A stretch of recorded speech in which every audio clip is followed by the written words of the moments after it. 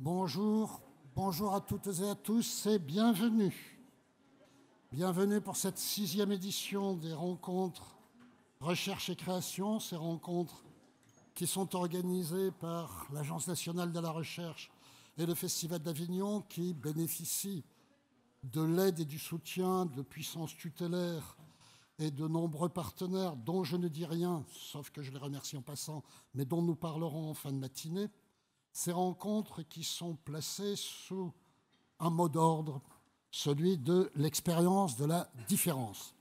Lorsque on a créé ces rencontres, c'était dans le but de permettre le dialogue entre la liberté des artistes et la liberté des chercheurs, non pas la répétition de connaissances déjà acquises et rebattues du côté des chercheurs, mais tant chez des sociologues, des historiens, des anthropologues, des archéologues, des spécialistes de sciences politiques, d'études littéraires, de philosophie, mais aussi de génétique, de sciences cognitives et de neurosciences, je pense que j'en ai oublié, mais tant pis, de se demander comment les savoirs que chacun construit peuvent s'enrichir mutuellement et s'enrichir dans la confrontation avec ces autres chercheurs que sont les créateurs. La création suppose une recherche comme la recherche suppose aussi une invention. L'un et l'autre fondent ensemble ce que l'on peut appeler aujourd'hui une intelligence culturelle. Et d'ailleurs, cette année, à l'occasion du 80e anniversaire du CNRS et du 60e anniversaire du ministère de la Culture, les rencontres se prolongeront le 11 juillet par un forum consacré à l'intelligence culturelle au temps où l'on parle tant d'intelligence artificielle. Il en est d'autres formes qu'il est bon de souligner aussi. Mais pour ce matin, dans les modestes fonctions de conseiller qui sont les miennes, je vous invite à plonger d'emblée dans les contenus, sans revenir sur les contenus des années précédentes, mais en vous signalant qu'ils ont été à chaque fois, et ils le seront cette année aussi, publiés. Chaque rencontre donne lieu à un livre publié aux éditions du CNRS. Les titres de ces rencontres sont guidés par le programme du festival. Dans ce que propose chaque année le festival, nous prélevons une problématique qui nous paraît stimulante. Cette année, le festival nous invitait à suivre, de voyager avec Ulysse, dit la Nil, de naufrage en naufrage, de peuple en peuple, de voyager avec Aîné dans l'aventure de l'invention d'un nouveau monde à partir d'un monde ancien puissant mais détruit, à interroger la mémoire aussi bien antique avec l'Orestie que la mémoire récente de ceux qui ont traversé la Méditerranée, la mémoire de ceux qui ont inventé l'Europe, voyez le banquet des peuples, à demander comment l'Europe a été depuis des millénaires un lieu d'échange de toutes sortes, comment le monde méditerranéen a été un carrefour de civilisation, comment les sociétés se bâtissent et se nourrissent à la fois par leur histoire et par un désir d'ailleurs qui se dessine souvent en utopie, nous avons rassemblé cela sous le titre Traverser des mondes. Traverser des mondes non pas comme une nostalgie odysséenne, mais comme une ouverture, non pas comme une mondialisation uniformisante, mais comme l'exploration d'un espace de diversité et d'intelligence contrastée, où l'imaginaire est la condition même de la construction de l'homme et de la société. C'est cette recherche ouverte sur le présent et ces interrogations que les chercheurs et artistes qui ont accepté de participer et que je remercie se proposent de partager et de partager avec le public. C'est à cette exploration que vous convie ces sixièmes rencontres que je déclare ouvertes. bonjour à tous, c'est évidemment euh, un plaisir d'initier euh, la réflexion qui va nous intéresser pendant les quatre prochaines demi-journées sur euh, cette question des traversées des mondes. Alors, traverser des mondes que nous allons euh, envisager euh, ce matin du point de vue de la sédimentation historique et de facto de la construction heurtée à travers le temps long des euh, identités collectives et plus particulièrement de l'identité européenne dans sa pluralité, sa conflictualité, ses différences et ses porosités.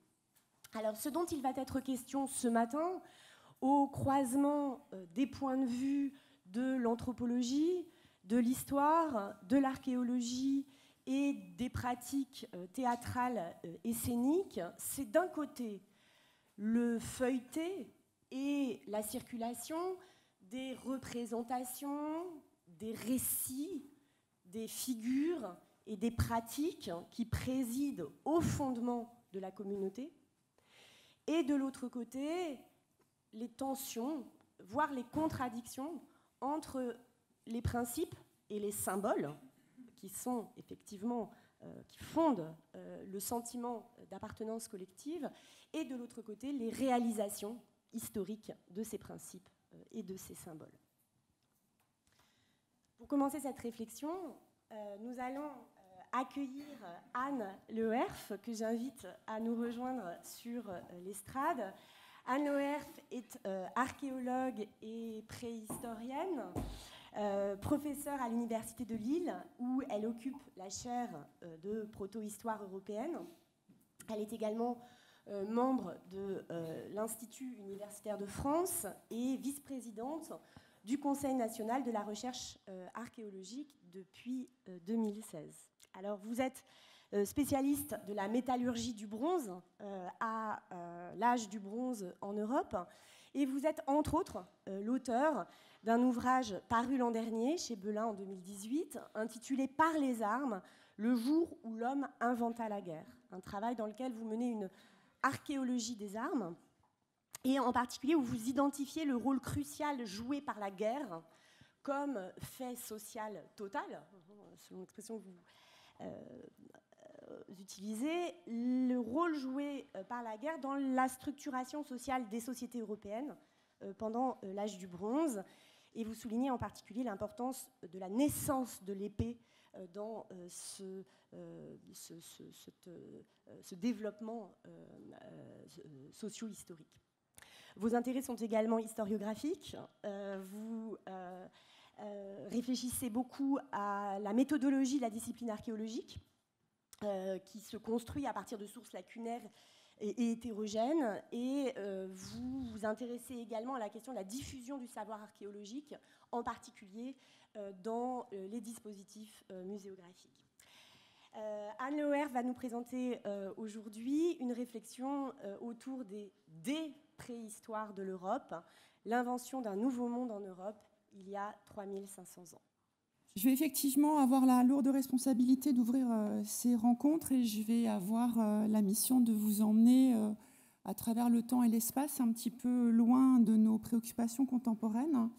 alors c'est une habitude, j'allais dire presque courante. Les spécialistes des périodes les plus anciennes de l'histoire de l'humanité ont l'habitude de, de, prendre la parole en premier, d'ouvrir, de faire des débuts, des initiations. Toute la question est de savoir finalement quand est-ce qu'on met le début, le jour où, le moment où la chose se pose Alors évidemment, euh, il n'est pas question, euh, il n'y a pas un jour, une heure, une minute. Euh, le titre Le jour où l'homme inventa la guerre est une forme de provocation. J'ai donné une date fictive pour ce jour, on y reviendra sur la naissance, qui est un 21 avril. Pourquoi pas? Je me suis dit, il était temps, puisque le livre est sorti un, 26 avril, il fallait quand même que euh, la, naissance de la guerre soit effective avant la sortie de l'ouvrage. Donc on a fait un peu comme ça. Voilà. C'est aussi la sortie de la Game Boy, mais ça c'est une autre histoire. Il fallait que ça coïncide avec quelque chose. Alors ouvrir les rencontres euh, et faire euh, poser finalement l'effet historique à un moment particulier, à un moment donné, euh, alors quand on travaille sur les périodes, on, a parlé d'imaginaire, on a parlé de civilisation, euh, c'est évident que les spécialistes des périodes très anciennes euh, ont à la fois une chance inouïe, ça vient d'être mentionné, nous avons une documentation archéologique qui est très abondante et qui est très hétérogène. C'est-à-dire que parfois on a beaucoup, on a trop de, et puis parfois on n'a pas assez. Et puis surtout, il y a quelque chose qui nous manque, c'est le mode d'emploi. On n'a pas de mots, et donc, sans les mots, euh, évidemment, ça rajoute une difficulté ou une fantaisie. C'est une enquête qui est tout à fait euh, particulière, un petit peu différente que celle de déchiffrer des mots, même si évidemment le sens des mots évolue au cours de l'histoire. Il n'empêche que je suis en train de vous parler, j'utilise des mots, et c'est avec ça que nous allons dialoguer. Tout à l'heure, c'est avec ça que nous allons échanger, poser des questions et y répondre. L'archéologue n'a pas cela. Il a des structures, il a des, couches archéologiques empilées dans une stratigraphie qu'il doit comprendre, et il a effectivement des objets. Je vais vous en montrer un certain nombre.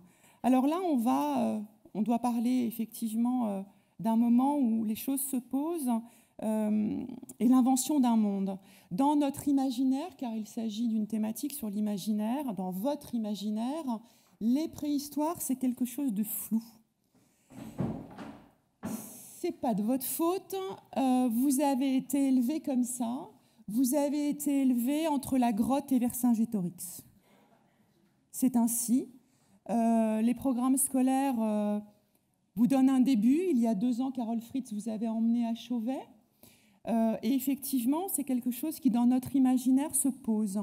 Le monde du paléolithique, plutôt récent, puisque les grottes, c'est le paléolithique récent. Et puis ensuite, il y a votre imaginaire vous conduit vers des périodes beaucoup plus récentes, qui sont celles de Vercingétorix, la conquête des Gaules. Et entre les deux, entre les deux, si je vous dis, euh, donnez-moi une réalité historique de ce qu'est l'Europe, eh bien, vous allez euh, sans doute être un petit peu perdu. En tout cas, vous allez être entraîné dans un flou. Et moi, c'est précisément à ce moment-là que je voudrais, euh, c'est dans ce moment-là que je voudrais vous conduire et vous emmener dans cet entre-deux qui n'est pas un entre-deux, mais précisément celui d'une naissance. Donc, je vous, les ai mis, je vous ai mis ce, tableau simplement récapitulatif euh, des noms, parce que nous n'avons pas de mots, mais à un moment donné, nous sommes quand même obligés d'utiliser des mots. Et nous avons donc euh, ces périodisations dont vous avez entendu parler, âge de la pierre, âge du bronze, âge du fer, qui sont subdivisées avec euh, une différence entre un néolithique, un âge du bronze dont nous allons parler, qui sont au cœur de ce tableau, et qui constituent le début d'une période que vous ne connaissez pas, et qui s'appelle la protohistoire. Enfin, que vous ne connaissez pas ou que vous connaissez mal ou peu, parce que là encore, effectivement, peut-être que dans nos imaginaires, euh, on est euh, un petit peu éloigné de ces questions-là. On va donc regarder par là et on va euh, faire un, chemin dans ce, dans ce monde-là. J'ai choisi, on est à Avignon, j'ai choisi en boutade de mettre un acte 1, ou presque, hein, une scène 1, et puis on fera une scène 2, puis je m'arrêterai là, parce que quand même, ce n'est pas mon métier de faire du théâtre, pas tout à fait. Donc je vais laisser aux gens qui savent faire le soin de faire mieux que moi. Euh, alors, acte 1, presque. Presque dans le sens où, d'une certaine manière, on commence effectivement l'histoire de l'humanité bien avant ce dont je vais vous parler, y compris l'histoire de l'Europe. C'est-à-dire que l'homme occupe l'espace européen avant le moment euh, dont je vais vous parler.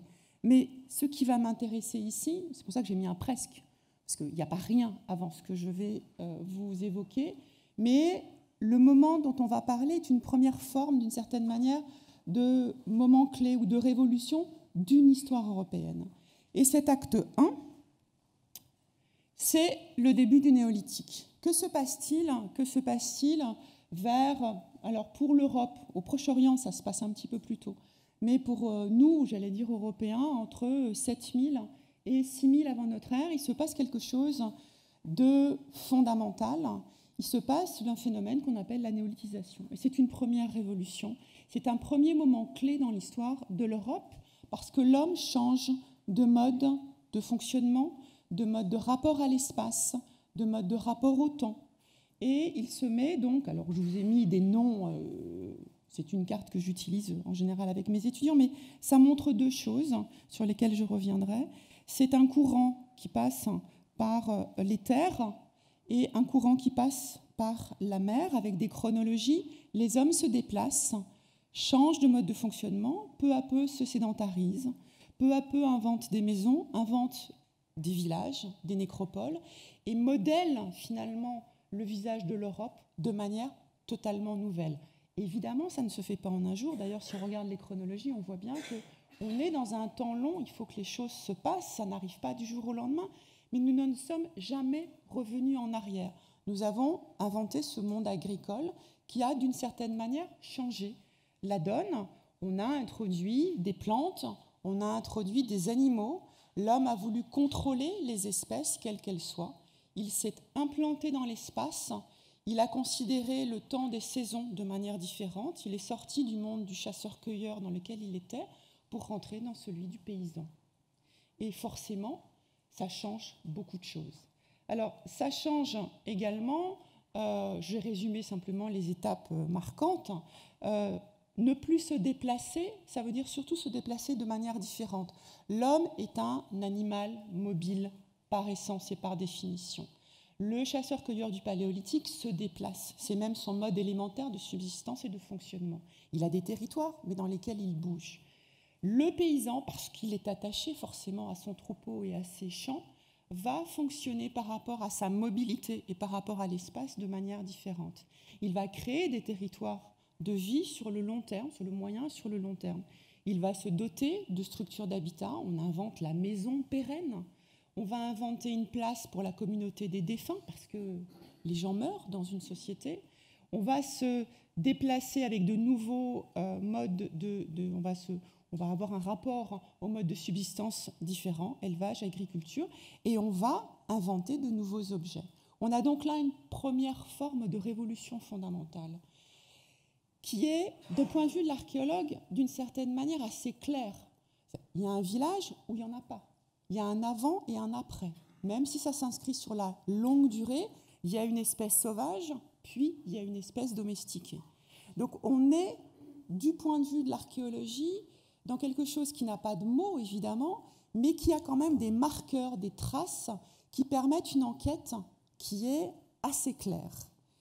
La période d'après, le deuxième temps d'une révolution qui m'a intéressée, euh, c'est celui de ce questionnement. Pendant longtemps, on a vu ces sociétés du néolithique comme étant des sociétés paisibles. C'était le bon paysan, tranquille, au champ, avec ses bêtes, tout allait bien. Et puis on s'est dit euh, que finalement, quand même, on a trouvé des traces de violence euh, que je ne vous ai pas montrées.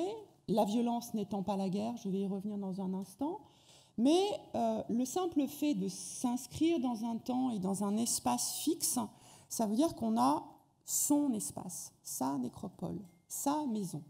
D'une certaine manière, alors l'acte de propriété n'existe pas en tant que tel, et l'idée de son territoire existe probablement avant le temps de l'agriculture, mais néanmoins, il se passe quelque chose, ma récolte, ma céramique, et cette question et cette construction finalement d'une matérialité renforcée euh, dans les sociétés européennes, parce que vous avez vu la carte, ça concerne toute l'Europe, eh bien, génère là aussi finalement un rapport à l'autre probablement différent. Et aujourd'hui, alors que quand moi j'étais étudiante, mes professeurs m'ont enseigné une Europe néolithique parfaitement paisible, c'était une sorte d'héritage d'un peace and love dont ils étaient eux-mêmes les héritiers. Tout ça a été mis à plat, et aujourd'hui, effectivement, on sait que le néolithique n'était pas un temps pacifique, mais qu'il y avait des formes de violence. Cela étant, acte 1, scène 2, du côté de l'âge du bronze, il se passe quelque chose qui permet, malgré tout, même si d'un point de vue de l'archéologie, les choses sont plus compliquées parce qu'on n'a pas strictement un avant et un après, il se passe quelque chose du côté de 1600-1500 avant notre ère, euh, les hommes inventent à partir euh, d'une nouvelle technologie, la métallurgie dont je suis effectivement spécialiste, un objet nouveau, totalement inédit, qui ne sert qu'à attaquer, blesser, tuer l'autre, c'est l'épée. Et ce simple fait d'inventer une épée, finalement, on peut se dire, bah, c'est juste des épées. Oui, d'accord, il y a des épées. Si on regarde l'objet et si effectivement on fait son travail d'enquêteur, à partir de la donnée archéologique, eh bien, on est obligé de se poser la question en disant oui, d'accord, c'est un objet, mais il y a une forme particulière qui va servir à attaquer. Mais que signifie l'invention de l'épée? Qu'est-ce que ça suppose euh, d'avoir cet objet? Eh bien, ça suppose, et c'est là que c'est intéressant et que ça touche toute l'histoire européenne, ça suppose tout un ensemble de circulations nouvelles des hommes, de compétences particulières, d'une organisation, d'une hiérarchisation. Alors je vous ai mis des exemples d'épées, ce sont parmi les épées les plus anciennes euh, qui existent. Sur la gauche, vous avez une épée qui vient du Danemark. La Scandinavie a un âge du bronze absolument magnifique et une métallurgie splendide. Et puis vous avez au centre euh, une des épées donc, qui vient de Jugne dans l'Aude. Je croyais que j'avais marqué le nom en bas.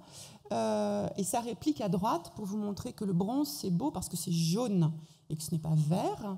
Euh, et que donc vous avez ici une des plus anciennes épées de France, enfin, du territoire qui est devenu la France et qui n'était que la pointe occidentale extrême finalement de l'Europe à cette époque. Alors cette, ce phénomène de la naissance d'un armement se passe dans une histoire complexe euh, que je ne développerai pas ici évidemment, mais dont je vous ai simplement mis quelques illustrations ici. Euh, c'est un système complexe qui euh, est une métallurgie qui non seulement est une métallurgie avec laquelle, par laquelle on fabrique des objets, y compris des armes, toutes sortes d'armes, mais on les détruit et on les dépose. On est donc là aussi dans un rapport finalement à la matérialité et à la manière de faire qui est euh, nouvelle. Crundell, que vous avez ici en haut, vous avez des lingots, vous avez des fragments d'épée, vous avez des fragments d'outils, vous avez... Euh, alors longtemps, on a pensé que c'était des bric-à-brac, et en fait, aléatoires, des rassemblements aléatoires d'objets. Or, il y a des logiques dans ces ensembles-là qui ne sont pas les nôtres et qui nous résistent parce que justement, nous n'avons pas le mode d'emploi. Mais il faut que l'enquêteur continue à faire son chemin et à essayer de comprendre pourquoi on a ça. Alors cette métallurgie, elle suppose que les hommes circulent sur des milliers de kilomètres, puisque le cuivre est d'un côté, l'étain est de l'autre, pas toujours réunis, que pour faire des épées, pour faire de l'armement qui fonctionne, on a besoin des deux. Et donc ça veut dire qu'à l'échelle européenne, on a des dynamiques de circulation, d'organisation de ces réseaux d'échange, d'approvisionnement des artisans dans leurs ateliers, qui évidemment sont tout à fait importants, qui renvoie à un imaginaire qui intègre non seulement le voyage, voyage parce que les hommes sont mobiles, ils sont ici sur des bateaux, ils sont armés. On est en Scandinavie, il y en a des centaines de ces pictogrammes absolument magnifiques qui renvoient euh, justement à, euh, ces, à, ces mouvements de population, à ces guerriers qui sont ici armés. On a des boucliers également, on a des casques, on a le développement de toute une panoplie guerrière et on a euh, l'émergence également d'une figure masculine réaffirmée dans cet imaginaire. Voilà un extrait, là aussi on est en Scandinavie, avec cette pratique du dépôt qui ici est un ébras en Allemagne avec euh, l'épée. La première représentation de la voûte solaire, on est dans le temps de l'invention des épées la Lune, les étoiles, les systèmes de repères pour voyager justement à travers les milliers de kilomètres de l'Europe, que l'on voit euh, ici sur un char avec euh, le cheval, avec le bouclier, et euh, évidemment qui nous ramène à ce monde nouveau vers 1500, créer un objet pour blesser et tuer, développer les réseaux d'échange, défier une économie, des savoirs, des hommes, porter une Europe en guerre dans un modèle politique nouveau, renforcer l'affirmation d'une domination masculine dans cette Europe. Autant dire qu'effectivement, après la révolution néolithique, on a ici une deuxième révolution, il y a 3500 ans, qui est tout à fait fondamentale et qui nous invite à regarder parfois l'Europe de manière différente. Je vous remercie.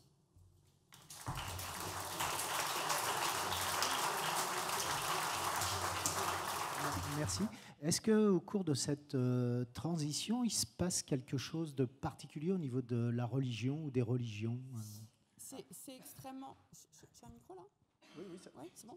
Euh, c'est compliqué de répondre à cette question-là. C'est-à-dire qu'entre les deux, si j'ose dire, ce que je ne vous ai pas du tout montré parce que je pense que sinon on était entraîné très très loin, on a par exemple tout le, phénomène du mégalithisme, qui est évidemment, d'un point de vue religieux et culturel, un phénomène d'ampleur. Hein.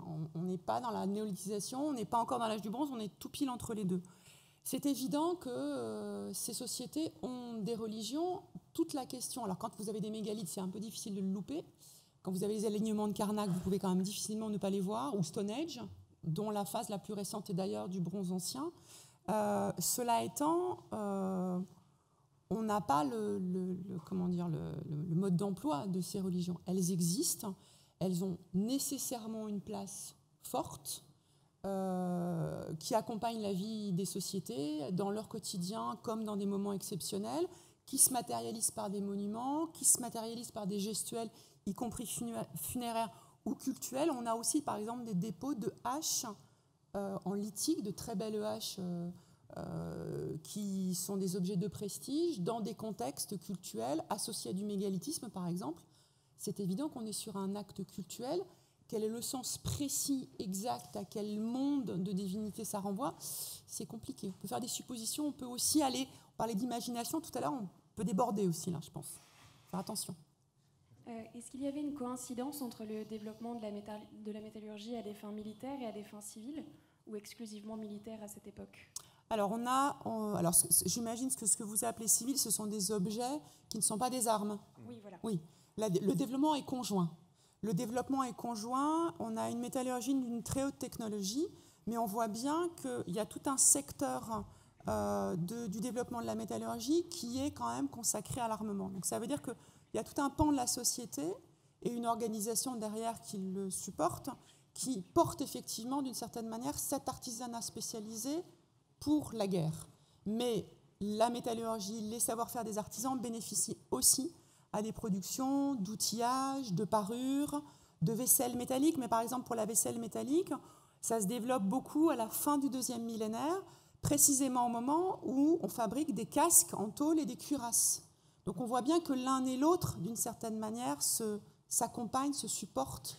On est dans des niveaux de technologie qui permettent justement de, pouvoir avoir euh, toute une panoplie la plus large possible. Euh, c'est un phénomène qu'on trouve à d'autres endroits dans le monde, dans des chronologies pas forcément euh, extrêmement éloignées de celle-là. Qu'est-ce que vous en pensez de cette émergence conjointe? Alors, ce sont des émergences qui prennent des formes différentes, et c'est ça qui est intéressant. souvent, on me dit, mais il faut regarder, par exemple, du côté de la Méditerranée, du monde euh, de l'Égypte, de Mésopotamie ou en Asie, où j'aimerais bien explorer peut-être un peu plus les pistes. Euh, c'est vrai qu'il y a des développements, c'est-à-dire que le développement de la fabrication d'armement se fait, mais elle ne se fait pas de la même manière et pas pour le même type de combat. Et ça, je trouve qu'en en termes d'interprétation de société, c'est intéressant. Vous les avez vus là. Euh, par exemple, si je prends, pour aller vite, deux confrontations entre guillemets, dans le monde méditerranéen, on est beaucoup plus on connaît les combats d'Oplite, de, par exemple, chez les Grecs. On est beaucoup plus dans des combats de groupes armés, qui sont équipés, mais qui sont en groupe. Là, ce que l'on voit émerger à travers la figure de l'épée, c'est l'épéiste. Donc, ce sont des individualités. Et d'un point de vue de l'interprétation de chaque individu et des sociétés qui portent tout ça, on est donc dans des modèles qui visiblement sont différents. Et c'est ça que je trouve aussi intéressant, euh, c'est de voir que il y a des choses, il y a des inventions, effectivement, qu'on le retrouve à travers le monde, mais elles ne prennent pas forcément la même forme. Il y a une diversité euh, qui est intéressante.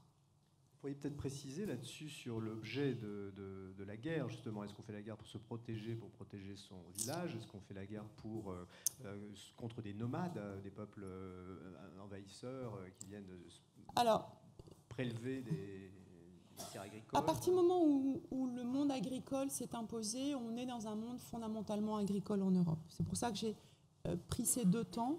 Euh, le monde paysan existe et au moment où la, métallurgie de la guerre se développe, j'allais dire c'est fait, c'est acquis. On est quasiment dans un long Moyen Âge de Le Goff euh, vu à travers l'archéologie. Donc il n'y a, pas, a pas des nomades d'un côté et puis des sédentaires de l'autre. On est dans un monde paysan global, globalement paysan. Euh, mais on est euh, finalement là aussi dans un monde, d'autres l'ont dit beaucoup mieux que moi, les raisons de guerre, euh, malheureusement, sont les mêmes depuis très longtemps. L'envie, le terrain d'à côté, enfin, toutes, ces, toutes, ces, réalités de raisons de guerre, elles existent à l'âge du bronze. L'âge du bronze, c'est vraiment nous, hier. On a du mal à se projeter parce qu'on le connaît mal, mais d'abord, ça fait 40 000 ans que Homo sapiens, c'est nous. Donc euh, d'un point de vue de la biologie, il n'y a plus rien à changer. Euh, on a inventé le paysan tel qu'on les connaît aujourd'hui. L'homme de l'âge du bronze, c'est vraiment euh, une réalité qui est très proche de la nôtre. On a du mal à l'apercevoir parce qu'on l'a mal étudié et qu'on l'a pas en récit, mais c'est vraiment nous. Donc les raisons de guerre, ce sont hélas les mêmes que celles que l'on connaît plus tard. Je ne suis pas du tout spécialiste de la question, mais j'ai lu récemment euh, quelque chose qui va peut-être un peu à l'encontre de votre thèse, c'est-à-dire l'idée qu'il y aurait une évolution continue euh, des peuples chasseurs-cueilleurs, si je puis dire, jusqu'à la stabilisation euh, de sociétés. Et donc, le, société organisée. Et donc, pour moi, la guerre, ça suppose un État. Voilà. une organisation politique. Et cette organisation politique ne s'est pas fait peut-être simplement par un progrès. Il y a eu des réticences. Il y a eu des, réticences. Il y a eu des, comment dire, des rébellions à l'organisation de cet État. J'ai lu récemment euh, qu'il y avait un courant idéologique ou théorique aux États-Unis qui s'appelle l'anthropologie anarchique, qui fait que euh, ce passage à la paysannerie, à la stabilité des sociétés, ne s'est pas fait, de s'est fait aussi par, par euh, un phénomène de rejet et de, de rébellion à l'égard de cette organisation politique. Comment est-ce que vous vous situez par rapport au fait que vous semblez dire qu'il y a une sorte de finalisme euh, qui va inévitablement vers euh, la paysannerie d'hier, qui ressemble à la paysannerie d'aujourd'hui Votre question est, fondamentale. Euh, y a une, on peut, on parlait de l'imaginaire, on parlait de la mise en récit. L'archéologue, comme l'historien, à un moment donné, a besoin effectivement de mettre en récit et de faire travailler une forme d'imagination pour donner sens à ce qu'il a.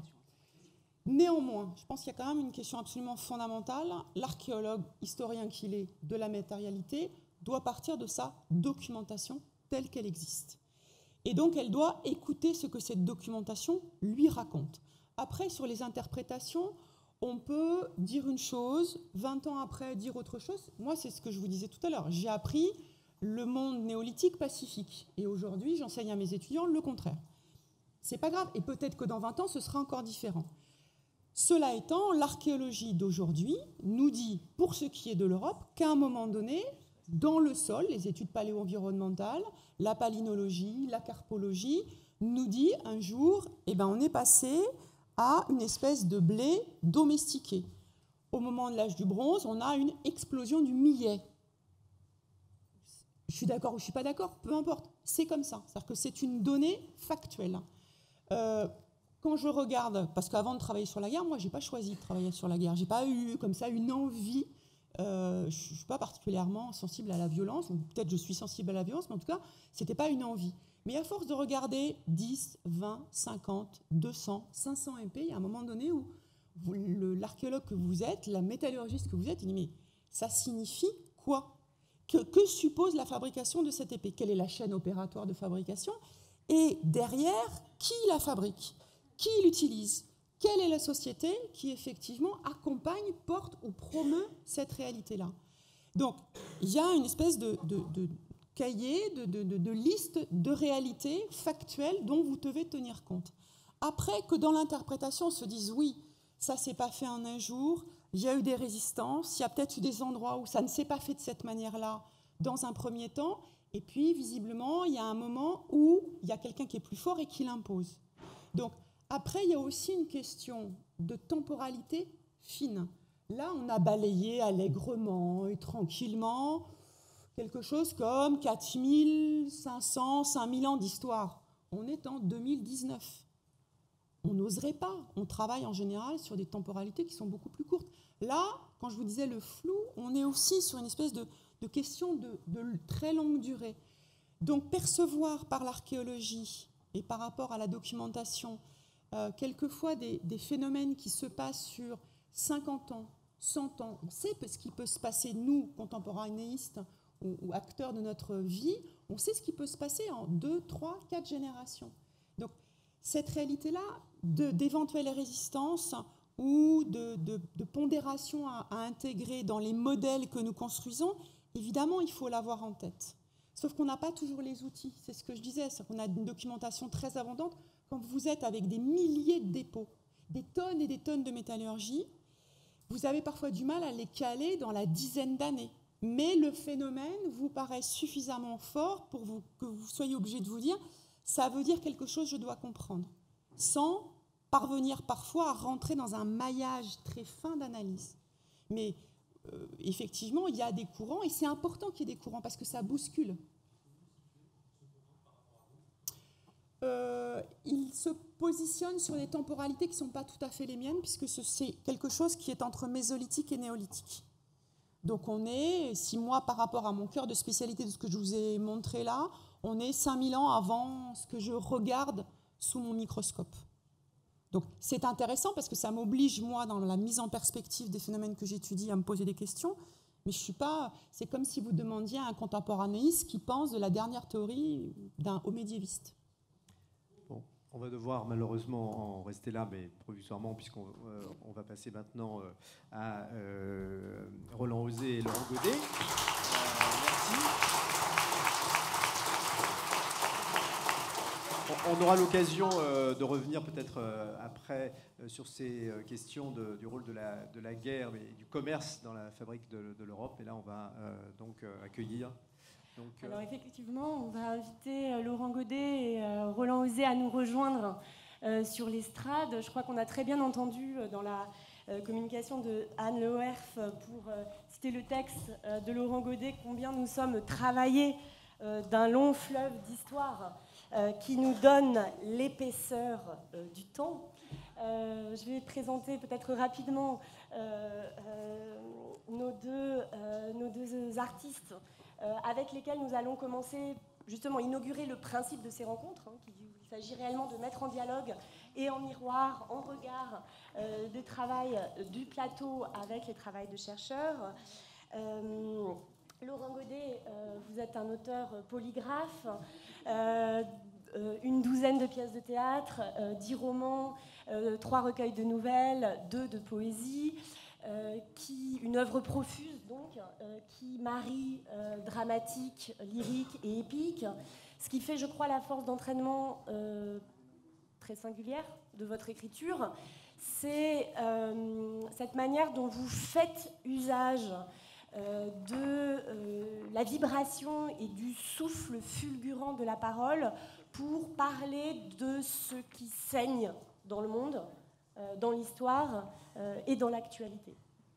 Euh, vous présentez euh, votre texte au Festival d'Avignon. Cette année, nous, l'Europe, banquier des peuples, qu'un grand nombre de personnes dans ce public a vu, une fresque inquiète sur une Europe malade d'être désincarnée, mal aimée euh, d'être euh, traître, mais que vous invitez à euh, réinventer, à réanimer, dites-vous, à la fin de votre texte. Le texte est mis en scène par Roland Osé, musicien, percussionniste, compositeur. vous êtes également directeur de Totem, l'Académie Jeunes Artistes à la Chartreuse de Villeneuve. Vous intervenez dans de nombreuses euh, universités étrangères dans un souci de, pédagogie et euh, votre travail se caractérise par une approche pluridisciplinaire du plateau, particulièrement sensible aux entrelacs entre le son et la parole, ce dont nous allons probablement parler dans le spectacle que vous présentez, dans une, quête pour renouveler la création théâtrale, mais également faire voyager la pensée et la pratique musicale euh, contemporaine.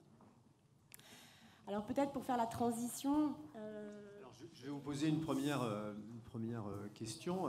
Et pour faire, effectivement, pour faire la transition, il y a dans la pièce une présence importante de la musique, mais il y a aussi une réflexion sur les usages sociaux ou politiques de la musique, et notamment une réflexion autour de l'hymne européen pas dévoiler euh, euh, la pièce, mais euh, ça résume, de de mon point de vue, un peu l'esprit de la pièce. C'est-à-dire qu'on le spectacle, moment de dialogue entre deux comédiens, revient sur le choix qui a été fait de l'hymne à la joie comme hymne Et finalement euh, met l'accent sur le fait que cette euh, joie euh, bon, n'a pas vraiment d'objet particulier et que ce choix est un choix par défaut puisqu'on n'a pas fait appel à un compositeur ou à des compositeurs contemporains pour inventer ce que pourrait être le message de l'Europe. On s'est contenté de piocher sur, au fond, dans le patrimoine commun européen.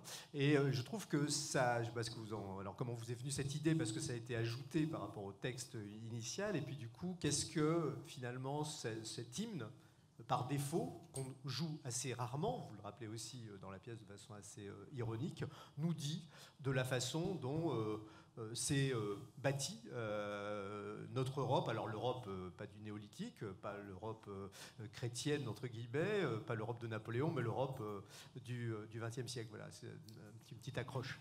Voilà, c'est Laurent qui me dit, ça c'est pour toi. Euh, merci, bonjour tout le monde. Vous avez donné en fait la réponse dans la question, c'est que, c'est que oui, ce qui m'a frappé, c'est que sur cette question de l'hymne, on n'a on pas pris le temps, on n'a pas pris euh, les gens qui ont organisé l'Europe, qui l'ont construit, qui l'ont structuré, qui ont écrit des traités. Qui... J'étais frappé en me disant, mais pour quelle raison, alors qu'on dépense autant de temps et d'argent pour structurer des choses, on n'a pas pris cinq minutes pour penser à la représentation symbolique qui est un hymne, enfin ça veut dire euh, quelques notes de musique avec quelques mots. Pour quelle raison, alors qu'il y a des auteurs fabuleux en Europe, des compositeurs fabuleux, vivants, on leur a pas dit, voilà, vous allez vous mettre euh, euh, autour d'une table pendant une semaine et nous faire une proposition. Voilà, c'était voilà. En tant que musicien, compositeur, ça me touche de me dire qu'on a été chercher un truc dans le passé, paf, on l'a mis comme ça, on a décrété que c'était la joie, et voilà. Et ce qui est frappant, en plus, quand on regarde le, texte de l'hymne en question. Il y en a cinq versions en français. Il y en a à peu près autant de versions dans toutes les langues. Donc ça veut dire qu'il y en a environ une quarantaine de versions avec des mots différents qui racontent pas tout à fait la même chose. En fait, c'est les raisons pour lesquelles, à l'arrivée, les acteurs disent bon, au fond, tout le monde s'en fout, quoi. Euh, pourvu qu'il y ait un truc, euh, que ça fasse comme si, euh, que les gens se lèvent sans trop savoir pourquoi ni comment. voilà, et voilà. C'est la fonction plus que que finalement que le parti pris symbolique, ou en tout cas euh, une attention particulière à cette idée de se, de se rassembler avec quelque chose qui fait vibrer, c'est-à-dire la musique est une chose vibratoire pour tout un chacun, et j'étais frappé que peu d'attention était prise sur ça. Je peux peut-être ajouter que la, question de l'hymne, effectivement, alors je ramène ça un petit peu au, sujet qui nous occupe aujourd'hui, elle est... Euh, en fait, elle est assez euh, au centre des préoccupations de civilisation et imaginaire. C'est-à-dire, alors civilisation, c'est peut-être un, grand mot parce que c'est plutôt nation. Euh, mais, effectivement, elle pose la question d'abord du, nous. Qu'est-ce qu'on chante ensemble Qu'est-ce qu'on accepte de chanter ensemble Donc, il faut quand même que ce soit un socle commun à tous. Et puis souvent, elle est en rapport, du coup, avec un, passé commun. C'est souvent un hymne qui a traversé un certain nombre de, décennies, voire de siècles, et, qu'on porte encore, et quand on le chante, on le chante aussi euh, en rapport avec l'idée, en tout cas, que d'autres l'ont chanté avant nous, et que ça continuera ainsi. Donc il y a aussi cette espèce d'inscription dans, dans le temps, et puis, et puis surtout pour chanter quoi, pour célébrer quoi? Euh, et c'est là où effectivement on arrive vers la question de, l'imaginaire ou en, ou en, tout cas du récit de, soi-même, du récit de, l'aventure collective euh, qui se décide. Et c'est pour ça qu'effectivement ça a une place dans le, dans le spectacle, parce qu'au fond c'est au croisement d'un certain nombre de questions, à la fois sur ce que nous sommes, sur ce que nous voulons être, euh, etc. Alors justement, peut-être pour euh, rebondir là-dessus, il, y, a quand même le, message au fond, enfin c'est un des messages de, la pièce, que l'Europe s'est construite par le haut, euh, et euh, elle s'est construite de manière privée ou semi-privée plutôt que publique. Alors, quand on lit le, texte, vous nous dites, Laurent Godet, que c'était après la guerre et que, au fond, on se méfiait de la démocratie. la démocratie électorale avait conduit à l'arrivée de pouvoirs fascistes, notamment, surtout en Allemagne, en Italie, et, qu'il fallait au fond euh, essayer de rabibocher, euh, euh, faire travailler ensemble, coopérer ensemble des peuples qui s'étaient détestés. Et donc du coup, au fond, il y aurait là une espèce de pas de péché originel, parce que c'était pas malveillant, ça partait d'un bon sentiment, mais que ces bons sentiments, finalement, ont fini par euh, créer une espèce de logique, de mécanique qui consistait effectivement à faire euh, finalement l'Europe euh, pour les peuples, mais sans les peuples. Je ne sais pas si c'est un peu ça. C'est un peu ça, mais je, voudrais juste un peu affiner parce que je ne veux pas donner l'impression de, en disant ça, et je le dis à la fois dans le texte publié et dans le spectacle, on le dit ensemble, c'est pas du tout une, une, critique vis-à-vis de ce fait. Un, je, crois que c'est une réalité historique. Effectivement, les fondateurs de l'Europe, comment dire, ce sont se sont probablement tenus à la création de la construction européenne, de ce qui allait devenir la construction européenne, un peu éloignés des peuples. Mais ils ont eu raison de le faire. Ils étaient les héritiers d'un monde où ils, avaient, ils étaient même les acteurs d'un monde où le, où la, passion des peuples avait mené au, meurtre. Donc euh, vous me propulsez moi aujourd'hui à leur époque, je serais tout à fait d'accord avec ça. C'est pas du tout euh, simplement euh, nous on vit aujourd'hui, du temps a passé et, la, question est-ce qu'on peut continuer à, être dans cet éloignement un, peu, un peu prudent des peuples je, ne crois pas. Je crois que les, aventures politiques qui durent à un moment donné doivent accepter, même si c'est inconfortable, même si c'est angoissant parce que les peuples ne sont pas polis, ne sont pas toujours très jolis, ne sont, ont parfois tort, mais à un moment donné, ça ne se fera pas sans eux malgré tout. Donc c'est cette question-là que qu'on voulait inviter. Je fais un, petit parallèle avec l'histoire du théâtre, puisque c'est ce qui nous occupe aussi. On le voit très bien dans, la, dans l'histoire de la dramaturgie.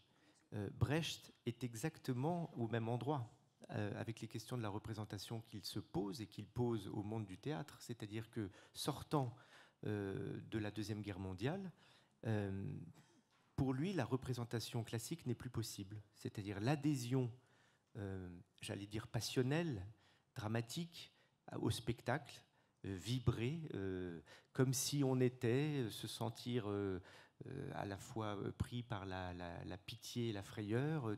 tous ces codes-là ne sont plus possibles.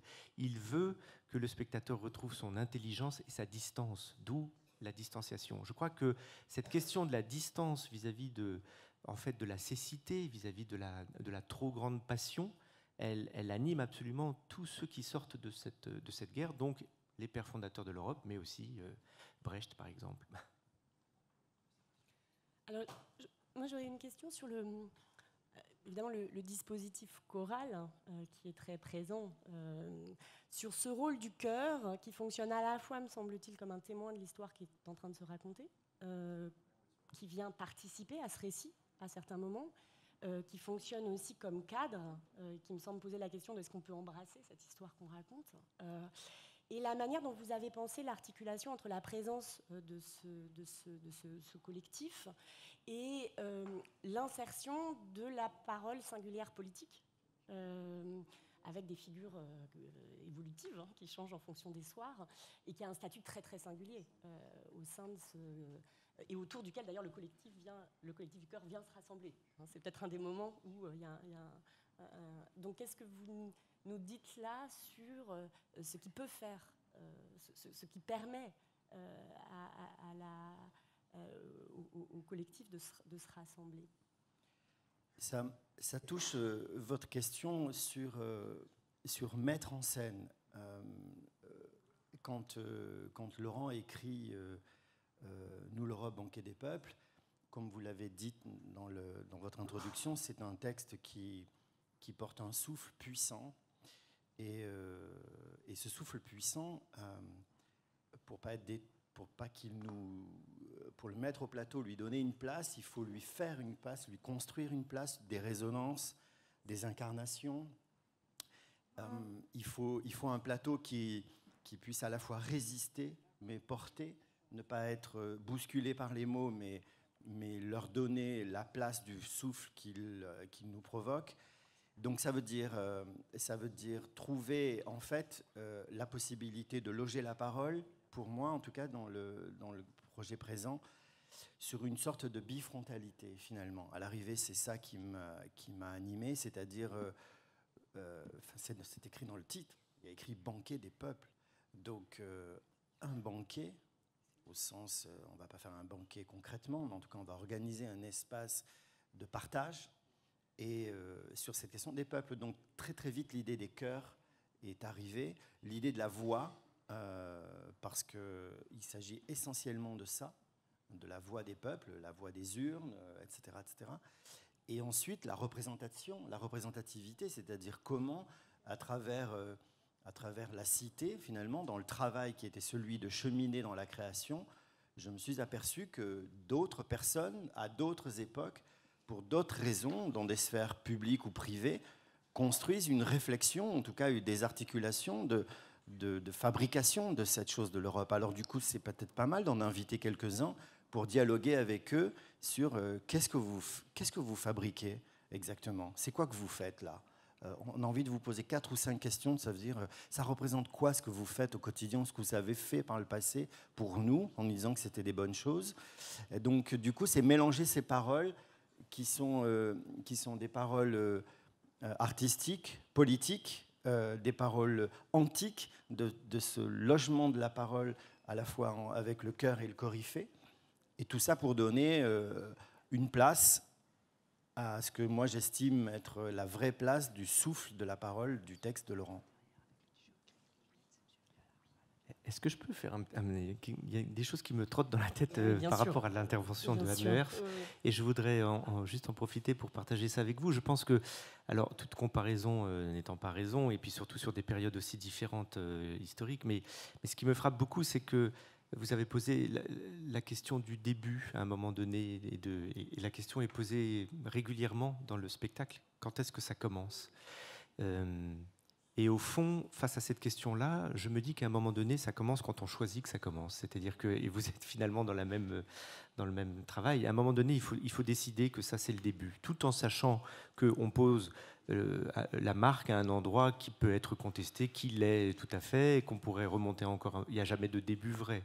Mais, mais peu importe, c'est-à-dire que c'est le choix de dire ça commence là. Pour moi, aujourd'hui, euh, c'est-à-dire que c'est à la fois décider d'une chronologie tout en acceptant l'idée que cette chronologie a quelque chose d'idéologique. Je décide que ça commence là parce que moi je pense ceci ou je vis aujourd'hui.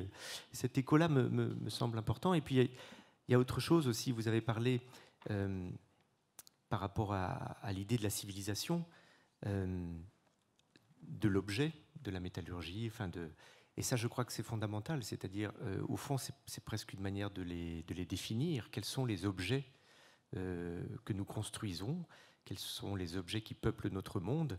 Et là aussi, le, spectacle Nous l'Europe pose cette question parce que, parce que moi, je décide de commencer au 19e à la révolution industrielle, à ce moment où énormément d'objets nouveaux apparaissent énormément de, de métiers nouveaux apparaissent et ça me semblait faire un écho avec la période que l'on vit aujourd'hui où moi j'ai des enfants qui sont encore très jeunes, mais je me dis que euh, probablement ils feront des métiers que je ne sais même pas encore nommer parce que, ben, parce que probablement plus transversal, plus enfin nouveau. Donc il y avait un écho euh, et cette question-là de, de, l'objet pour définir une civilisation, elle me semble elle me semble intéressante le dernier point, c'est sur la question de l'imaginaire. Vous avez dit euh, à quel point, de ce point de vue-là, vous, vu la période historique que vous étudiez, vous êtes en, comment dire, euh, un, peu limité dans, dans, dans, l'approche. Euh, je ne veux pas me, préciser parce que je connais mal, mais, mais, mais sur la question européenne et sur l'histoire plus récente, c'est vrai que évidemment que la question de la représentation et la question du récit en fait est fondamentale. C'est-à-dire, euh, euh, et c'est ce qui m'a moi amené à nous l'Europe, c'est la question du récit européen. Je me suis dit qu'au fond, il fallait que je me confronte à la question du récit européen. Comment est-ce que j'ai envie de raconter notre histoire, moi? Et, Parce que si personne ne le fait, à un moment donné, euh, c'est de ça aussi dont meurt le projet européen, c'est-à-dire qu'il n'y ait pas d'engouement à, la, à la raconter. Euh, choisir des héros, c'est aussi choisir une, forme de, d'imaginaire. Je pense que à la fois le rapport aux morts, au monde invisible nous définit profondément, mais aussi le rapport à ceux qu'on décide de euh, considérer comme héroïques, par exemple. Et euh, sur, la, sur la question européenne, je pense que là, il y a un travail énorme à faire encore, parce que dans chacune des nations dans lesquelles nous vivons, les livres d'histoire des écoliers nous montrent un certain nombre de figures héroïques, mais moi, je l'ai constaté en travaillant sur Nous l'Europe. On connaît encore très mal les héros d'à côté. Or, si on veut une zone euh, géographique qui devienne une zone politique, il va falloir aussi s'approprier les héros des autres. Et euh, c'est un bel enjeu d'ailleurs. Merci beaucoup. Anne Loer, est-ce que vous souhaitez répondre? Euh, C'est tout à fait juste. C'est-à-dire qu'on décide de commencer à un moment qui est finalement un moment qui est marqué par un, enfin, un positionnement entre changement, continuité. Euh, et c'est ça qui détermine. C'est-à-dire qu'on se dit, est-ce que là, il n'y a pas des éléments qui permettent effectivement de dire que c'est différent par rapport à ce que l'on voyait sur le temps précédent? Tout ça étant, vous avez tout à fait raison, effectivement, une forme de positionnement aussi euh, personnel. L'objet, euh, l'objet, il est muet pour l'archéologue. il incarne des choses, mais je, enfin, je trouve que je pense que c'est tout le, toute la saveur finalement de, de l'archéologie c'est d'arriver à faire parler des individus qui sont incarnés à travers des objets qui, eux, sont muets et pour lesquels nous n'avons aucun mode d'emploi. Donc, c'est pas limitatif. On, peut considérer effectivement que c'est limité. C'est un vrai défi. Et l'archéologue passionné, il adore ce défi. C'est vraiment, c'est son, c'est sa saveur du quotidien que d'arriver à faire parler les objets et à travers ces objets, effectivement, les individus qui, eux, n'ont pas donné de mots et, auxquels on, restitue, et ça c'est ce que vous disiez pour finir, la question de, l'anonymat. Euh, quand je parlais tout à l'heure d'une forme de flou entre la grotte et Vercingétorix, c'est vrai qu'on a tout un pan là de l'histoire qui est très mal connu et totalement anonyme. On n'a pratiquement pas de nom d'individu. Le seul auquel on s'accroche et avec une ferveur incroyable, il s'appelle Ötzi. On lui a donné un nom. Il est dans les Alpes. Euh, c'est une momie. Et, effectivement, c'est une forme de le premier héros européen que l'on puisse avoir. Pour les autres, euh, on est dans le monde des anonymes. Et, donc, effectivement, si on veut donner une forme de réalité historique à cette première Europe, il faut que les archéologues fassent sortir de l'anonymat ces individus qui le sont. Alors Grégoire Mallard, il est associé de professeur d'anthropologie et de sociologie à l'Institut des hautes études internationales et du développement à Genève. Euh, c'est quelqu'un qui a euh, commencé euh, ses études en France avant de les, poursuivre aux, États-Unis et il va nous parler d'un thème qui lui est cher, euh, dans, euh, qu'il a développé dans ses travaux, c'est euh, quand même une réflexion sur le, droit, sur les négociations internationales, puisque l'Europe, ça s'est construit par la machine à vapeur, ça s'est construit par des guerres, mais ça, au XXe siècle, et pas que l'Europe aussi, un projet de paix, en tout cas d'ordre mondial, ça s'est aussi construit par des traités, et notamment aussi par des traités qui visaient à empêcher ou à limiter la guerre. J'ai beaucoup apprécié votre, votre représentation. Je vais essayer de faire un peu des ponts aussi avec elle euh, dans ma présentation. Quand j'avais euh, parlé avec Catherine Courtet euh, lors de cette invitation, on était au début parti de l'idée que peut-être je parlerais euh, de l'Europe du nucléaire qui euh, a été l'objet de mon premier livre pour passer de... On n'est plus à l'âge de l'épée, on est à l'âge de l'arme atomique pour la défense de l'Europe. Et ça a changé plusieurs choses, notamment pour répondre à votre question sur le rapport à l'État et le rapport à la possibilité que euh, l'État subsiste à l'âge nucléaire, qui a été une des grandes questions qui s'est posée après la Seconde Guerre mondiale à Hiroshima et Nagasaki, et pour lequel toute une série de de savants, de, politistes, de juristes ont développé le concept de, fédéralisme atomique qui a pu avoir des manifestations soit au niveau mondial, soit au niveau européen. Euh, et puis, en, regardant euh, votre présentation et puis, le programme, je me suis dit finalement, j'allais plus parler d'un autre livre qui, lui, euh, revient aussi sur ces cette généalogie de l'Europe, on va dire, euh, qui s'appelle, parce que malheureusement mes livres sont en anglais, euh, donc le premier s'appelle Fallout et le second Gift Exchange, qui revient sur un, un autre concept qui n'est pas donc le fédéralisme, mais qui, est, qui provient plus ou moins du solidarisme, qui est le concept de système de, de prestations réciproques, qui a forgé une sorte de philosophie de la solidarité internationale entre les nations et qui a irrigué toute une part du droit et de la façon dont aussi toute une série de savants ont pensé sur comment on peut, faire, comment on peut éviter la guerre et comment on peut construire la paix. Et donc sur ce concept de prestation réciproque, c'est basé toute une série de disciplines qui l'ont travaillé, le droit, l'anthropologie, c'est ça dont je vais vous parler, ce qui relie au premier, euh, à la première euh, euh, présentation, car un des traités sur les, la façon dont fonctionnent les prestations réciproques a été écrit par Marcel Mauss, l'essai sur le don, dont beaucoup d'entre vous connaissent l'existence, qui parle de l'âge de fer, des germains, de l'inexistence des marchés contre du fer, qui est une hypothèse qui est remise en cause par la mine et qui revient sur cette idée donc, du don et du système de prestations réciproques pour organiser les relations internationales. Voilà.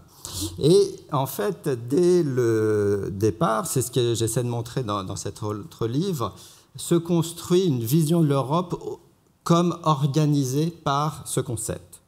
Et donc, euh, euh, d'une certaine façon, ce que j'ai essayé de faire dans cette, euh, dans cette présentation, c'est de vous montrer euh, comment euh, finalement ces euh, représentations de l'Europe, dont on trouve la trace dans la représentation. Par exemple, vous parlez de la conférence de Berlin, de l'Europe des empires, à l'Europe des nations solidaires, organisée autour du traité de Versailles et par ses réparations, ses prestations réciproques que l'Allemagne doit euh, redonner à la France, la Belgique, en retour d'une forme d'intégration dans un système européen, euh, ont évolué au fur et à mesure du XXe siècle. Et donc, moi, dans mon travail, pour vous dire un petit peu la, perspective, je suis un sociologue de la connaissance, je ne suis pas un, historien des imaginaires. Mon but, contrairement à celui de, Laurent Gonnet, n'est pas de créer un grand récit, un big narrative, du passage de cette Europe des empires à l'Europe des nations, à l'Europe fédérale des armées qu'on voit autour du traité EDC, la CED ou de l'Euratom, ou après de l'Europe solidaire du Sud, ou maintenant l'Europe d'une forme de, l'euro, de la stabilité financière, ou de l'Europe protectrice contre les, terroristes. Et donc, je, ne cherche pas à analyser les, causes et les effets qui nous font passer d'une vision de l'Europe à l'autre que je, fais plutôt une forme d'histoire discontinue. Je vois que ces visions existent. Et la question à laquelle je me pose, c'est quelles sont les disciplines, quels sont les savoirs qui en constituent la possibilité au niveau juridique et politique. Et l'hypothèse que je vais vous présenter, euh, que, que, je fais, est que ces savoirs, il y a toute une série de savoirs, l'anthropologie, le droit, la science politique, qui se sont constitués autour de la formulation d'une réponse, de, la recherche d'une réponse à la question quel est le bon, le bon arrangement juridico-politique qui pourrait faire marcher ces visions de l'Europe, que ce soit l'Europe des empires, et là, ça sera par exemple la conférence de Berlin, mais aussi plein de lois nationales, par exemple sur les concessions, euh, sur euh, donc les compagnies concessionnaires, soit l'Europe des nations solidaires. Et là, ça va être par exemple le traité de Versailles, mais aussi des commissions d'experts, d'économistes qui vont dire quand le système des réparations que l'Allemagne doit par exemple redonner à la France va perturber la stabilité financière de cette Europe en devenir. Donc ces, ces disciplines ont cherché à trouver leur place, trouver leur niche dans ce débat sur quels sont les critères pour juger si un arrangement juridico-politique qui incarne l'Europe un, T, est bon ou pas. Et en cela, finalement, euh, l'hypothèse que, je veux vous, présenter aujourd'hui, c'est que l'éclosion de ces savoirs dépend de l'acceptation d'une vision pluraliste du droit. Parce que, donc, si vous êtes si vous pensez que finalement ces visions de l'Europe, qui sont toutes ancrées sur ces arrangements juridico-politiques, ces conférences, ces traités, ces euh, lois domestiques. Si vous pensez si vous acceptez une vision moniste du droit, vous pensez que ces arrangements définissent ce qui est bon. Il n'y a qu'à appliquer la lettre du traité, il n'y a qu'à être fidèle aux origines du but poursuivi par les fondateurs, et tout est bon, tout se tient, puisque le traité doit éviter la guerre, doit permettre la prospérité, et donc la lettre même du traité est la source unique du droit, dans cette vision moniste. Et finalement, cette vision moniste amène à une sorte d'hégémonie de la science juridique. Il suffit d'être un expert en droit pour savoir quel est un bon arrangement. Et un arrangement est bon quand il subsiste à lui-même, quand il tient, quand il fait tenir les choses. Et quand euh, vous voyez l'histoire de l'Europe, vous aurez toujours, le but de la présentation était de vous montrer comment ça évolue dans le temps, vous aurez toujours des gens qui vont adopter cette vision moniste du droit, on peut dire européen, international, mais il est aussi domestique. Et en face, vous avez des gens qui vont avoir une conception pluraliste du droit, qui vont toujours dire il n'y a pas de moment d'origine, il y a toujours un tissage entre des sources plurielles de droit et qui vont préexister au moment de la fondation. Alors, c'est des gens qui sont, alors pour, euh, euh, dans, la, dans la pièce euh, de Laurent Godet, vous avez justement ce questionnement sur quelle est l'origine, et vous avez, c'est un questionnement que par exemple Anna Arendt reprend beaucoup, sur y a-t-il un moment constitutionnel du droit, et surtout du droit européen. Et ça, c'est même des questions qui ont été débattues dans l'espace politique par Mélenchon, par d'autres. Et donc la, la, perspective pluraliste dit non, il n'y en a pas. Il y aura toujours même une subsistance des sources plurielles du droit. Et la question, donc, est de trouver quel est ce bon arrangement qui nous permet de garder cette pluralité de sources juridiques sans qu'elles s'écrasent, mais plutôt qu'elles s'enrichissent les unes les autres et qu'elles permettent de créer un enrichissement culturel, une meilleure intégration politique qui ne passe pas par la domination, toute simple, et qui permettent en même temps la prospérité économique. Et donc vous voyez que là, le critère pour juger si l'arrangement juridique politique est bon ne peut pas être purement juridique. On ne peut pas juste dire je regarde le traité, je vois si parce que si on regarde l'autre traité ou l'autre source de droit, elle dit peut-être quelque chose de différent, qui n'est pas forcément incompatible, mais il faut trouver un critère pour voir comment il pourrait ne pas être incompatible et au nom de quoi on préférerait une interprétation ou pas de l'une ou l'autre. Et c'est là où on va voir des gens qui vont plutôt euh, insister sur l'aspect, on pourrait dire, anthropologique, ethnologique, de l'enrichissement culturel, d'autres qui vont être plus dans l'économie, qui vont dire c'est plutôt tant que ça vise l'économie, la prospérité, on peut accepter des déviations par rapport au traité, par rapport au texte originel. Voilà. Et donc l'hypothèse que je voulais vous présenter, c'est ça, c'est que cette vision pluraliste du droit, qui a sous-tendu certaines interprétations de ces arrangements juridico-politiques de l'Europe, sur lesquels elle a été fondée au cours du temps, a permis l'éclosion de champs de savoir. Donc, euh, euh, pour revenir à ces différentes visions euh, de l'Europe que j'ai citées dans la, première slide, c'était de dire, voilà, je vous ai listé les, arrangements juridico-politiques sur lesquels finalement chacun était fondé. Donc comme je le dis, je fais un peu une histoire discontinue de ces visions de l'Europe, dans la mesure où je ne prétends pas expliquer comme des historiens par exemple comme euh, Mark Mazower, Sam Moyne ou, Tony Judd, comment on passe de l'un à l'autre. Je ne fais pas un grand récit. Par contre, ce que j'essaie de voir, c'est à chaque fois qui ont été les monistes et qui ont été les pluralistes et à quel champ de savoir les uns et les autres ont appartenu et ont tenté de faire triompher dans des espaces nationaux. Et j'ai un certain biais, c'est-à-dire que j'analyse surtout la co-construction de ces champs de savoir en France et aux États-Unis euh, euh, à travers euh, cette période. Donc, pour vous prendre quelques exemples, je pense que je vais, prendre, je vais en prendre trois. Je ne vais pas avoir beaucoup plus de temps. Je ne sais pas combien de temps il me reste. Trois minutes. Alors, une minute par euh, exemple. Alors, on va partir euh, du début. La conférence de Berlin, la conquête euh, de l'Afrique par les empires, mais aussi la, conquête, elle s'est pas faite que par des États, elle s'est faite aussi par des compagnies concessionnaires, par exemple, qui avaient le droit dans des, pays où l'État ne pouvait pas assurer la sécurité, qui avaient des obligations régaliennes.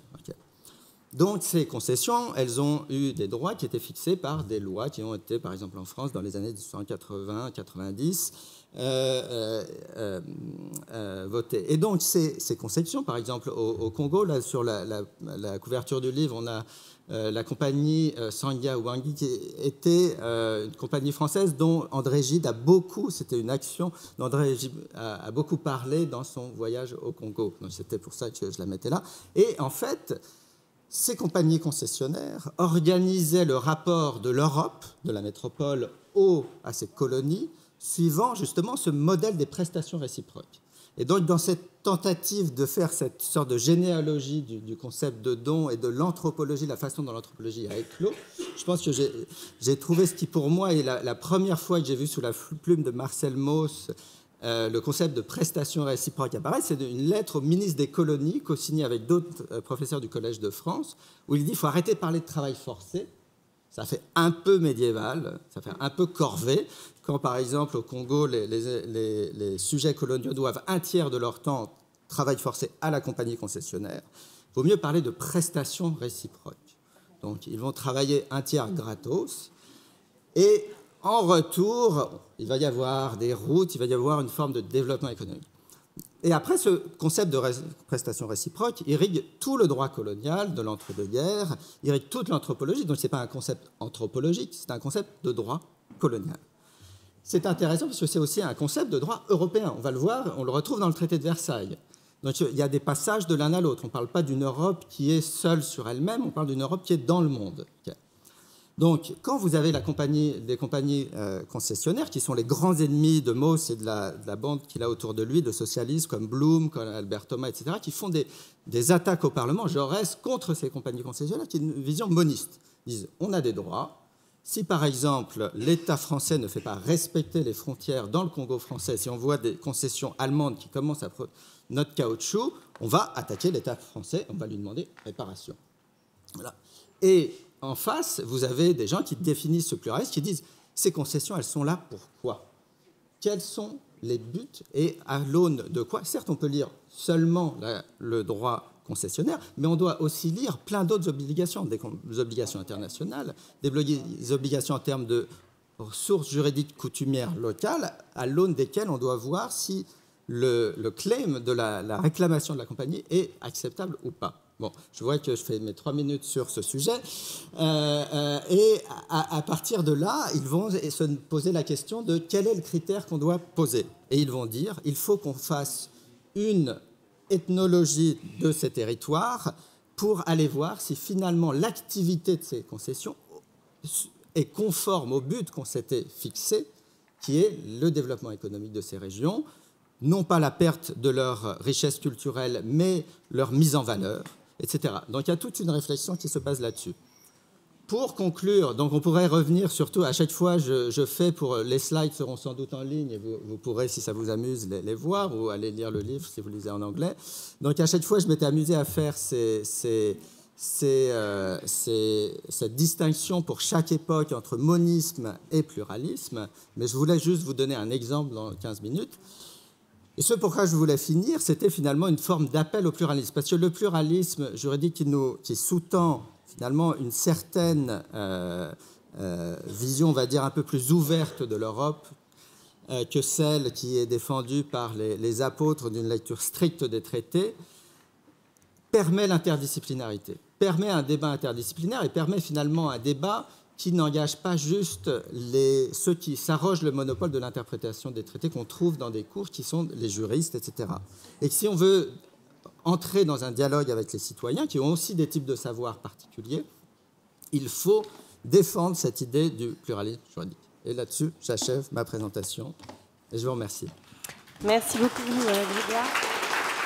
J'invite pour commencer euh, Laurent Godet et Roland Osé, si vous voulez réagir immédiatement. Euh, il me semble qu'il y, a des choses euh, autour de cette réflexion proposée par Grégoire Mallard sur les conditions juridico-politiques de stabilisation de l'Europe et cette manière dont tu as insisté sur le l'importance d'une vision pluraliste, qui me semble rejoindre, Laurent Godet, ce que vous disiez sur la dimension idéologique de la construction d'un récit de l'histoire et ce que vous proposez également de votre spectacle, et euh, ce rapport aussi à cette histoire plurielle que raconte euh, nous l'Europe et qui rejoint un certain nombre également de partis pris de mise en scène autour de la polyphonie euh, et du croisement des, voix. Euh, je, lance cette, euh, cette, piste, mais vous pouvez tout à fait réagir sur autre chose, bien sûr. je vais réagir sur le pluralisme. la difficulté, je trouve que, comment dire, quand on parle de la, de la construction européenne et de, de, ce que nous sommes en train de bâtir depuis maintenant quelques décennies, à dire vrai, je, je, crois sincèrement que rien n'est simple. Et en tout cas, moi, je suis assez souvent dans une position de regard où, euh, où je pourrais presque dire deux choses et, son contraire. Euh, et je pense que je ne suis pas le seul. Et sur cette question du pluralisme, par exemple, c'est le cas. Euh, bien évidemment, et je pense que vous allez partager cette idée, on est, tous très pour le pluralisme parce qu'on n'a pas envie de se voir imposer euh, d'en haut, de je ne sais où en haut, quelque chose qui viendrait contrarier euh, ou nos habitudes de vie ou euh, nos désirs de vie. Et donc, on préfère être du côté du pluralisme parce que ça, ça, serait l'idée comme ça que chacun peut faire un peu comme il veut, côte à côte. Et c'est très bien. Et je suis évidemment tout à fait pour. voilà. Sauf qu'il y a un moment donné où ça se heurte quand même malgré tout au sentiment d'appartenance. Est-ce que un, quelle est la dose, quel est l'équilibre qui permet à la fois un, réel pluralisme euh, dans la liberté et, et, pour autant qui permet euh, la naissance d'un sentiment d'appartenance à euh, un tout qui dépasse euh, le territoire ou l'enclos ou l'espace qu'on s'est défini et dans lequel on veut vivre de telle ou de telle manière. Je crois que euh, c'est ça qui est à la fois passionnant et parfois un petit peu frustrant dans la dans l'aventure européenne, c'est qu'elle est toujours en train d'osciller entre ces deux choses, c'est-à-dire euh, respecter le pluralisme des pays qui la constituent parce qu'ils ont une histoire qui démarre bien avant et un certain nombre de caractéristiques qu'ils n'ont pas envie de voir disparaître. Et en même temps, si on ne fait que ça, on n'arrivera pas à l'étape d'après, qui est quand même d'essayer de faire de nous des citoyens euh, euh, européens. Euh, et ça, je crois que moi, personnellement, je crois que c'est important. Donc, il y a cette, dualité-là, elle est irrésolue et je pense qu'elle le sera en permanence. C'est une question de dosage. Juste pour finir sur la question de la paix, après je, vous passe la parole. le, ça me fait réagir parce que c'est évidemment probablement le, la notion sur laquelle l'Europe s'est d'abord construite, la paix la promesse de la paix offerte à ses peuples. Après le grand trou noir des deux guerres successives, euh, au fond, ce qu'offrait d'abord l'Europe, c'était la paix. En fait, c'est ce qu'elle offre encore aujourd'hui, mais par euh, quelque chose euh, qui, moi, me rend assez mélancolique, mais que je constate, c'est que je crois que l'argument de la paix ne marche plus. C'est tout à fait dommage parce qu'il est tout à fait pertinent encore aujourd'hui. Mais, mais c'est comme ça. Je crois que pour beaucoup d'entre nous, et notamment pour les plus jeunes d'entre nous, euh, la paix semble acquise. Et donc continuer à dire dans le discours, oui, mais vous vous rendez pas compte, en Europe, on vit encore en paix, on est en paix, euh, c'est vrai, mais je crois que ça ne, ça ne permet pas de créer cette espèce de, passion citoyenne dont on a besoin. Et là, il me semble que l'Europe est à un moment de son histoire où il faut qu'elle trouve un, il trouve un deuxième argument socle qui serait, euh, lui, capable de de, faire naître un petit peu de passion. Et à mon avis, il tournera autour de la question, euh, appelons ça de la fraternité pour utiliser un grand mot, ou de l'Europe sociale, ou je ne sais quoi, c'est-à-dire de prendre soin de ses propres citoyens. Je pense que c'est cet argument-là maintenant qui sera euh, le plus partageable par tous. Grégo, oui, je sais pas. Non, très vite, en fait, je suis frappé d'une chose depuis tout à l'heure euh, en assistant à votre présentation, c'est finalement, vous êtes des metteurs en scène de l'histoire. Et c'est-à-dire que vous proposez des lectures, finalement, euh, à la fois vous dans le temps et Laurent euh, actuellement. Et, je me rends compte à quel point notre exercice à nous, le nôtre, metteur en scène, est difficile. C'est-à-dire que, euh, parce que ça demande, il y, a le rapport à la vérité, par exemple sur nous, l'Europe. Vous ne pouvez pas vous imaginer le nombre de personnes qui viennent me dire mais non non ça ne s'est pas passé exactement comme ça c'est pas exactement ça c'est pas et puis c'est et puis c'est c'est pas exactement le sens de notre construction, etc., etc. Et je me rends compte à quel point mettre en scène finalement un ouvrage, euh, un ouvrage classique ou du répertoire, etc., où il y a une objectivité de, la question du sens, de, il y a une chose. Et puis là, à ce moment-là, euh, euh, c'est-à-dire se projeter dans une lecture qui est de mettre au plateau, qui est l'endroit quand même où c'est l'endroit de la vérité, c'est l'endroit de, la représentation, avec ce que ça demande d'incarnation et de rapport au sens, etc. Euh, et finalement, en lien avec vous, je me rends compte que, euh, cet exercice de pouvoir donner corps, et finalement c'est là où notre métier a du sens, à cette idée du politique parce que c'est ça, au fond, que ça demande. Euh, c'est-à-dire mettre en scène le texte de Laurent aujourd'hui, c'est un acte politique. Parce qu'il doit s'inscrire dans une projection, dans, euh, de redéfinir ce sentiment d'appartenance, une émotion ou, quelque chose qui, va, qui nous guide dans ce souffle de la chose européenne.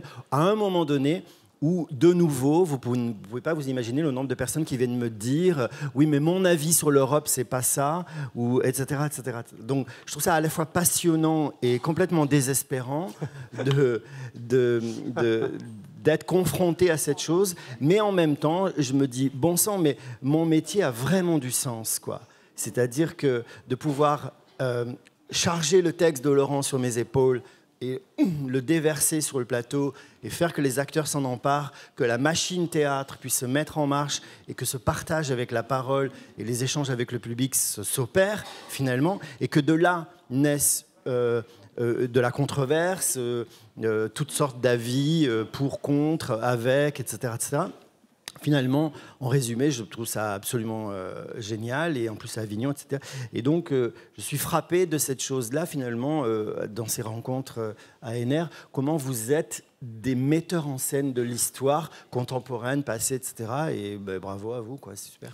Alors, peut-être Grégoire euh, euh, sur euh, la double interpellation, là, sur qu'est-ce que dans, le, dans les grammaires, dans, les répertoires qu'on a inventés pour justifier et consolider un projet collectif européen, aujourd'hui pourrait servir à, effectivement, peut-être pas refonder, mais enfin proposer un, autre cadre que celui du discours de la paix alors, il euh, y, a beaucoup de questions, mais ce que je voulais d'abord, avant de répondre à cette question, c'était réagir pour préciser la notion de pluralisme que j'utilise. C'est une notion de pluralisme juridique.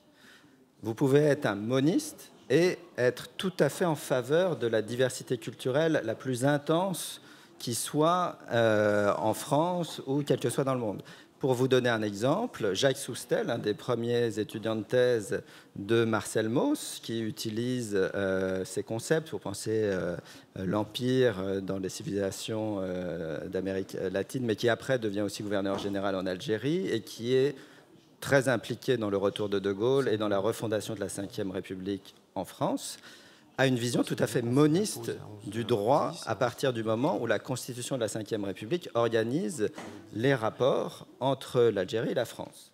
C'est un grand euh, soutien de l'Algérie française et il associe ce monisme juridique au sens où les Algériens ne doivent pas exister en tant que peuple parce qu'ils sont divers ethnographiquement. Et donc il donne à l'ethnologie la charge de décrire la diversité culturelle des Algériens pour pouvoir prouver qu'ils ne peuvent pas coalescer, comme on dit en anglais, pour se, se, créer en tant que peuple.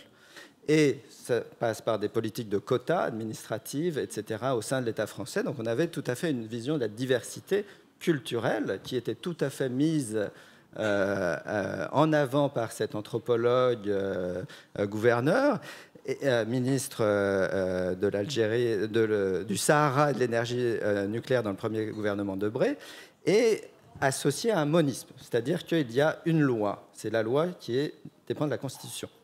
Donc le, pluralisme juridique dont je parle n'a rien à voir avec la, mise en valeur de la diversité culturelle. C'est une forme d'interprétation des arrangements existants qui euh, permettent de faire tenir une réalité juridico-politique de l'Europe aujourd'hui.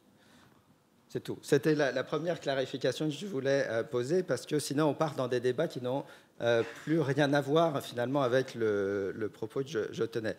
Après, est-ce que l'Europe doit se réinventer? Est-ce qu'elle peut faire autre chose que nous chanter les louanges qu'on a survécues à la guerre froide et que finalement, avec une France forte qui continue à avoir plein d'armes nucléaires, euh, Interpol et Frontex, et la BCE pour euh, Enforce euh, Austerity, on va être content et on va pouvoir vivre encore 50 ans comme ça. oui, je pense qu'effectivement, ça fait plus rêver grand monde. enfin, ça continue à faire intéresser des gens. Il y a des gens qui, votent pour cette Europe-là. Mais on l'a vu beaucoup, moi, dans les spectacles depuis que je suis arrivé à Avignon. Euh, le thème des migrants, par exemple, et de l'aide au développement euh, est fondamental. Dans les pièces que, j'ai vues, que ce soit l'Odyssée ou euh, Nous l'Europe, ou hier la pièce sur l'Énéide, on voit que le, thème de la gestion des migrants est très important. J'ai pas vu beaucoup, par contre, l'articulation entre la gestion des migrants et la création de politiques d'aide au développement sous l'aspect économique, qui devrait être un des grands chantiers parce qu'il y aura euh, des migrants économiques qui ont tout à fait le droit d'être là tant que des compagnies multinationales à base européenne ou américaine prennent leurs ressources et ne les redistribuent pas essentiellement dans leur pays. Donc ça sera une articulation à, penser euh, qui nous permettrait de peut-être un petit peu euh, euh, redorer ou de, redonner un petit peu de, souffle, à la fois parce que ça intègre une vision écologique sur la ressource des matières premières, la ressource des, matières naturelles, etc. Ce que fait, ce que fait l'Europe quand elle régule, ce que font les multinationales ailleurs qu'en Europe. Anne vous voulez ajouter un mot bref Bref. sur, les multinationales à la Jubron, Pas forcément, oui. Pas forcément. je vais essayer. Hein, non, non, enfin, là j'écoute. Hein. C'est vrai que euh, ma présentation de tout à l'heure, euh, il y a à la fois, on, est, j'ai répondu, enfin tout à l'heure on était dans un dialogue, ça met en résonance euh, des, choses qui me, qui me concernent et qui me touchent. En même temps, et je pense que c'était aussi d'une certaine manière l'intérêt que je commence, c'est que ça oblige à mettre en perspective ma manière, enfin mon, angle, mon approche et la période dont je suis spécialiste. Ça nous oblige à peut-être voir les choses de manière un petit peu différente, même s'il y a des points d'ancrage communs.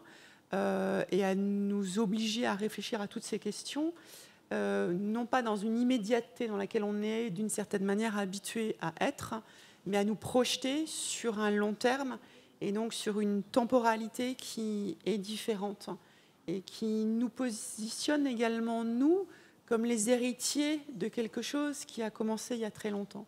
Et ça, je pense que c'est pour les spécialistes des périodes très anciennes, ça nous oblige à, être plus humble, plus modeste, hein, euh, parce que ce que nous construisons souvent est une construction. Euh, on a l'impression que c'est du solide, hein, que ça va durer, et on est quand même souvent dans un éphémère, en tout cas à l'aune de la chronologie qui est la mienne, ça nous oblige à être euh, modeste. Allez, le petit mot de la fin pour Laurent Godet, puis après on fait une pas abuser, mais c'est une, une, idée qui me tient très à cœur aussi pour, le, pour mon sujet, c'est-à-dire l'Europe. Je crois que euh, accepter d'être dans deux temps différents, ça me semble être très important. On est tous dans le temps de nos vies, et vis-à-vis par exemple de la construction européenne, on a le droit d'être en colère, insatisfait, etc. sur un certain nombre de choses, euh, et, donc du coup éventuellement dans le combat politique, dans la revendication, dans la manifestation.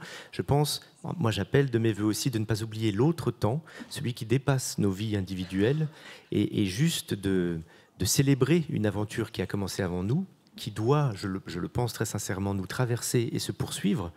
Euh, on va essayer le temps de nos vies de, l'influer, mais elle nous traverse. Et, euh, finalement, ça, ça me, semble très important d'accepter, avec l'humilité aussi que ça implique, d'être... Euh, d'être juste à un moment donné dépositaire d'une aventure politique qui, doit continuer. Parce que très honnêtement, enfin moi je le pense, vous avez le droit de ne pas être d'accord, mais je pense que c'est quand même la plus belle aventure politique du XXe et XXIe siècle.